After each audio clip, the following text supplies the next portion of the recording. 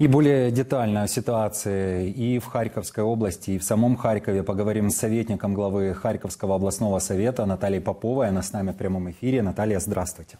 Здравствуйте, Наташа. Здравствуйте.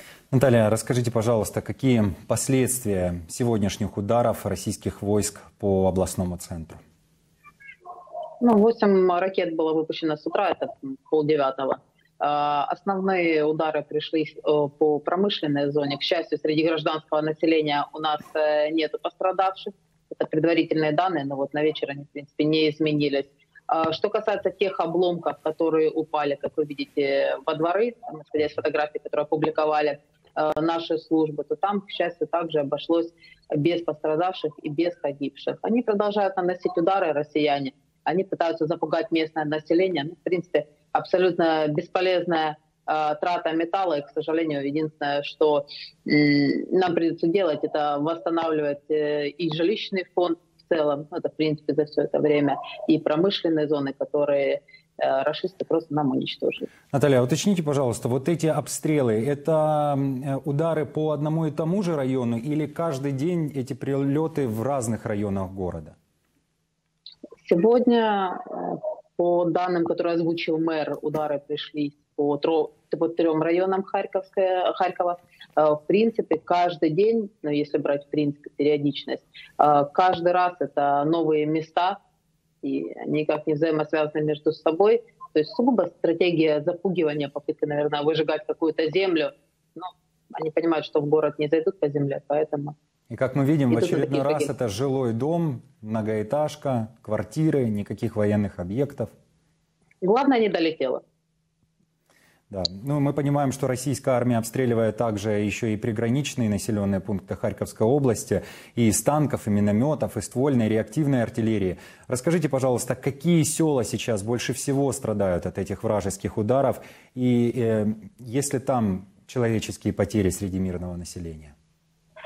Ну, в целом, наверное, мы можем брать даже не отдельные села, а целый Купенский район. То есть вот Купенск, Купенск-Узловая и все, что пошло дальше по Купенскому району, это самое большое количество раненых э, гражданских, которых мы имеем. Потому что, к сожалению, эти территории э, расисты продолжают накрывать и из артиллерии, и из РСЗО, поэтому там и осколочные ранения, и, в принципе, раз в несколько дней у нас даже есть погибшие гражданские.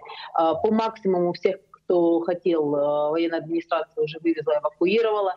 Те же гражданские, которые остаются на местах, их, в принципе, просят соблюдать хоть какие-то, какие возможно, меры э, личной безопасности и без э, лишней причины не перемещаться по улицам, потому что удары по Купянскому району наносятся рандомно.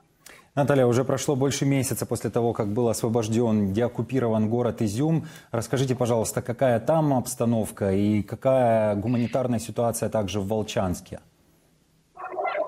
А, по Изюму. В принципе, мы наблюдаем, что по данным вот мэрии, сегодня разговаривала, до 5 тысяч э, населения за этот месяц вернулось обратно.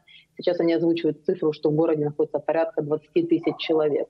Э, город был полностью отрезан от коммуникации, но у нас есть положительные новости. Наконец-то подали уже 10 тысячам абонентов, то есть половине города по факту, э, электроэнергию.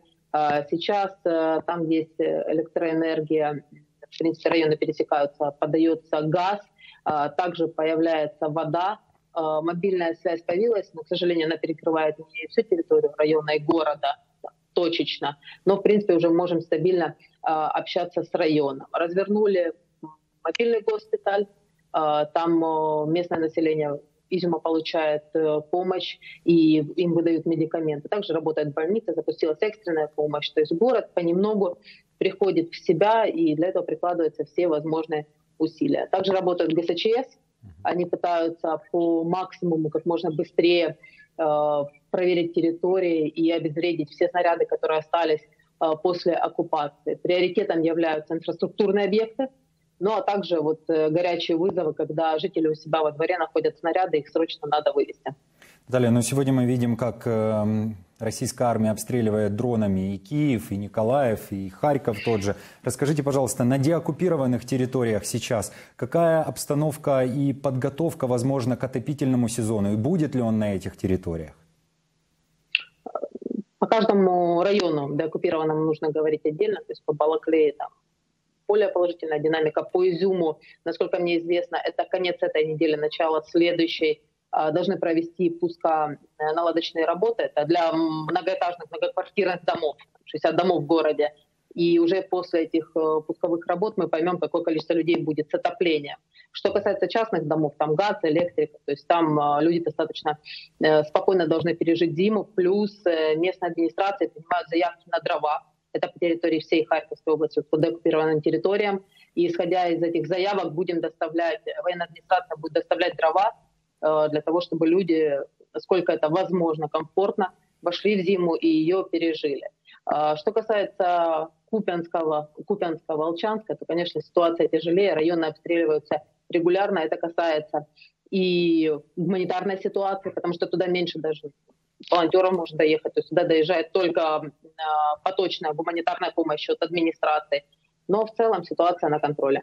Знаете, вы так часто вспоминаете Купенск, и вспоминается фраза, которая звучала еще на территории оккупированной, когда был Купенск под э, оккупацией, когда кричали, что Купенск и Россия это одно целое, и Россия там навсегда. На сегодня России там нет, она теперь обстреливает этот город. Э, вы сказали, что сейчас в эти города возвращается электроэнергия, мобильная связь. А что происходит с э, телевидением украинским? Э, появляется ли у людей доступ к информации? Понимают ли они, что сейчас происходит вокруг них, особенно после 5-6 месяцев оккупации города? Сегодня вот говорила именно по этому вопросу как раз с Изюмом. А, к сожалению, радио пока еще не появилось, но в ближайшие дни должны приехать телевизионщики и провести определенные работы, чтобы телевидение вернулось на те территории. Но с учетом того, что э, часть города уже перекрывается 3G, 4G разных операторов, то люди имеют доступ к информации, к прямым трансляциям на телефонах, и благодаря тому, что появилась электроэнергия, в принципе, тоже становится достаточно доступным будем стараться как можно быстрее все исправить. Наталья, спасибо вам большое за ваши комментарии. Наталья Попова, советник главы Харьковского областного совета, была с нами в прямом эфире.